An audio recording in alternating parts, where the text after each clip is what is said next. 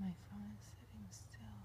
That fucking thing is just floating around in the air in one spot.